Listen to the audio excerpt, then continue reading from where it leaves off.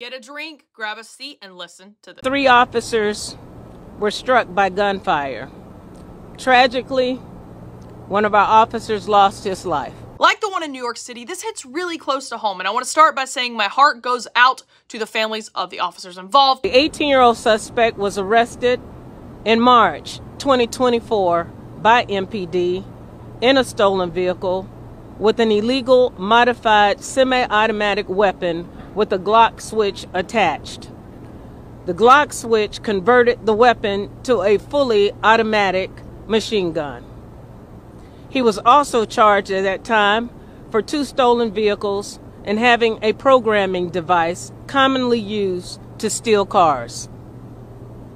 The suspect was released at that time without bond. That's two officers that we know about that have lost their lives in the last month because we're letting violent criminals back out on the street. But wait, it's the guns.